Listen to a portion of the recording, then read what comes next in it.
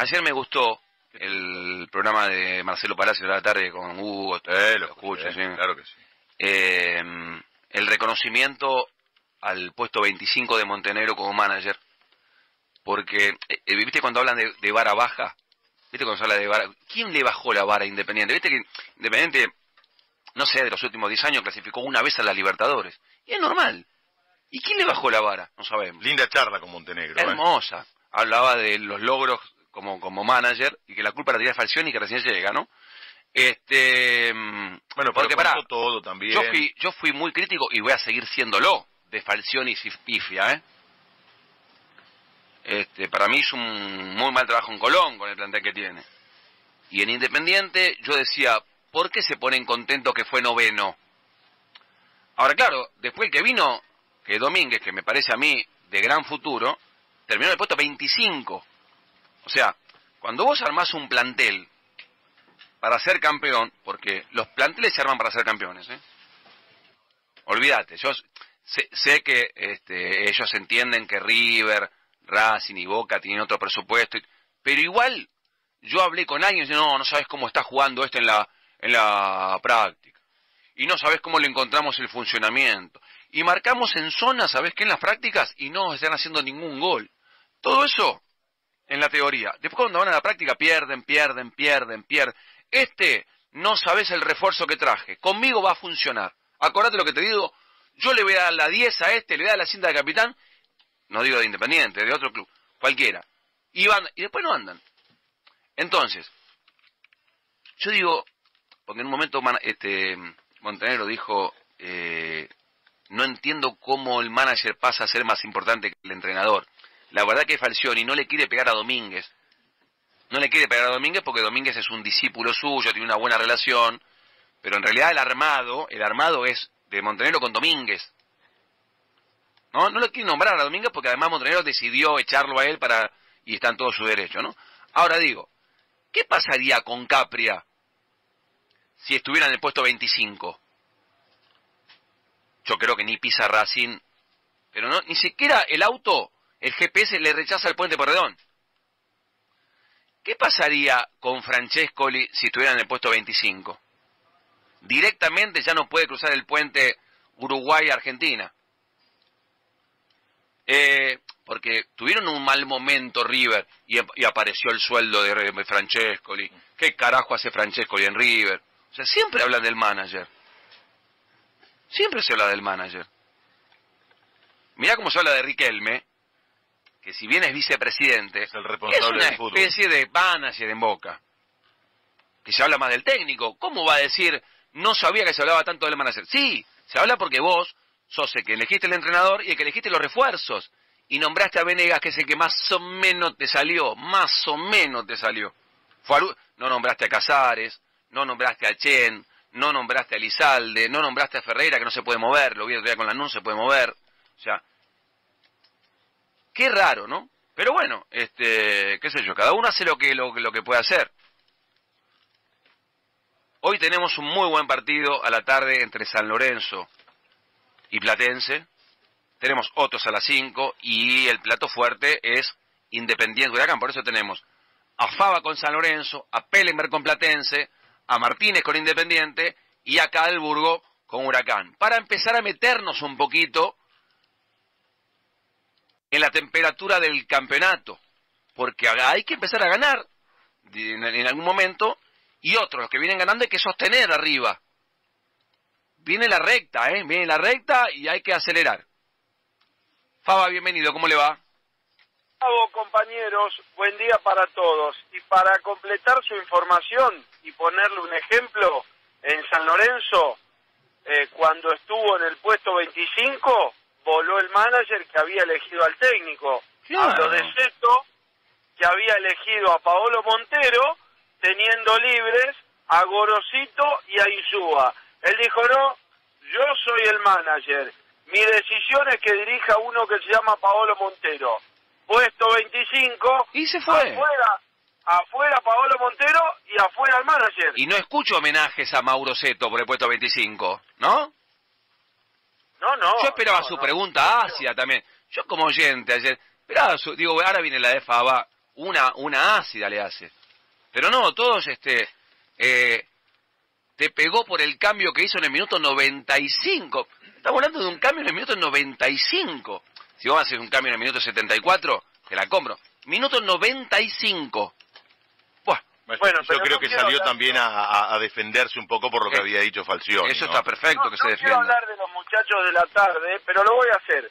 Es que ellos están muy enamorados del juego, quieren analizar la, la, basculación del juego, mm. el paladar del juego. No, pero hablar en serio, chicos. ¿Saben por qué Falcioni vuelve independiente? Que la verdad que lo echaron por malo y lo trajeron porque te perdonamos porque Independiente perdía todos los partidos y se iba a la B. Así clarito te los voy a decir. Perdía todos los partidos y se iba al descenso. Perdía contra Atlético Tucumán, Platense de local, eh, perdía este, eh, puntos contra la reserva de Central, perdía el clásico con Racing. Como pierde todos los partidos, dijeron, eh, Falcioni, vení, por favor, sacame un punto por partido aunque sea. Cortemos la sequía. Y la verdad estuvo a punto con River, en el 94 le hacen el gol. No ligó, no ligó. Bueno, después va a la cancha, va a la cancha de Lanús, va a la cancha de Lanús, donde hace 16 años que Independiente no gana, 16 años, y le reclamaban la victoria con este plantel.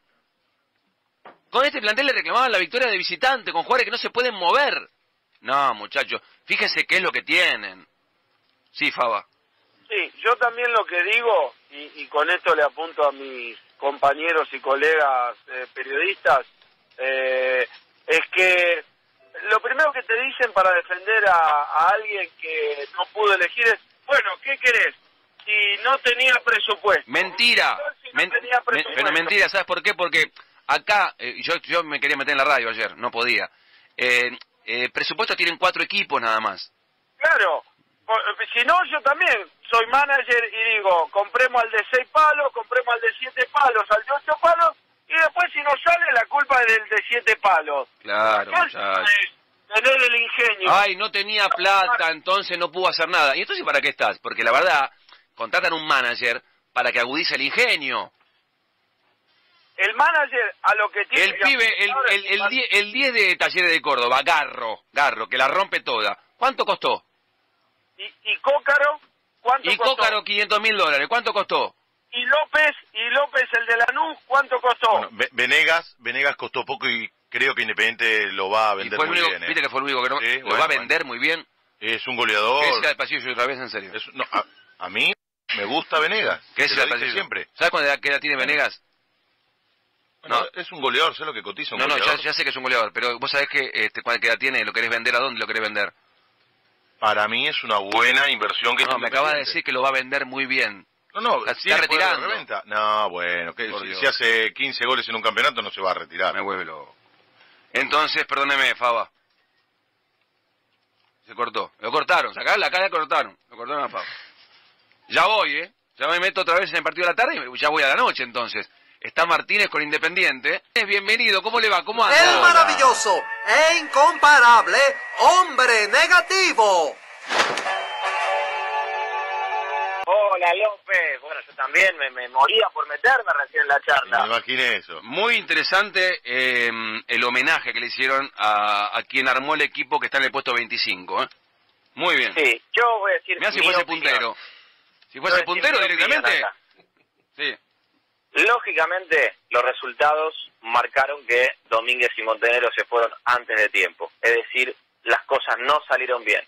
Yo creo que los proyectos en el fútbol argentino, quizás Independiente no esté mm. en el momento para bancarlos. Hay que bancarlos. En dos minutos, yo creo que Domínguez estaba construyendo algo, eh, Rolfi Montenegro algo de arriba para abajo. Una casa en un country. No, no, no. La reserva de Independiente la destruyeron en dos minutos, bajan chicos de 25 años. todos los chicos estaban creciendo, lo destruyeron en dos minutos apenas se fue Montenegro.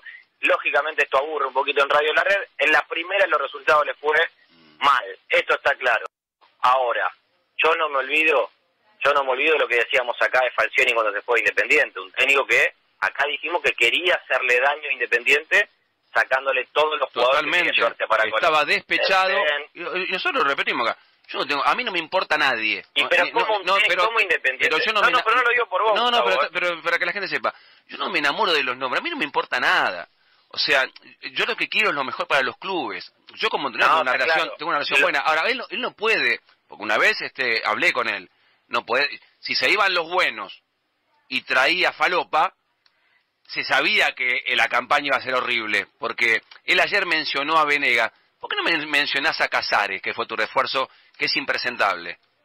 ¿Por qué no me mencionaste que, que, sacaste a Togni para traer a, a, Chen? ¿Por qué no me hablas de Lizalde, que no lo conoce nadie? ¿Por qué no me hablas de, de, Ferreira, que lo vi el otro día?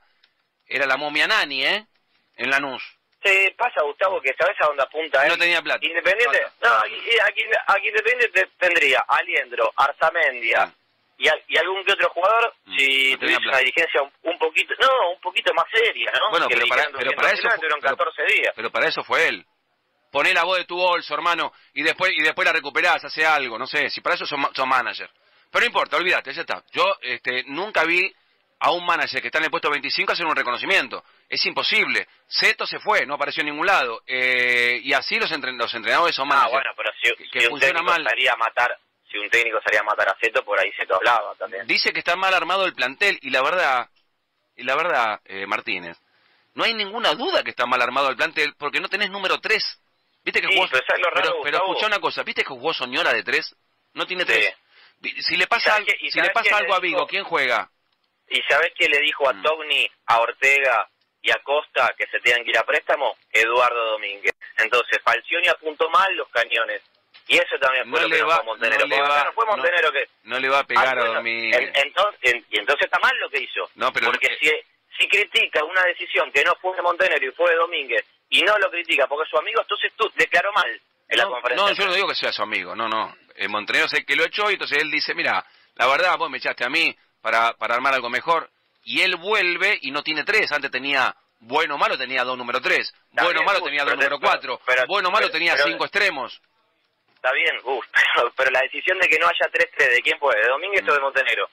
Bueno,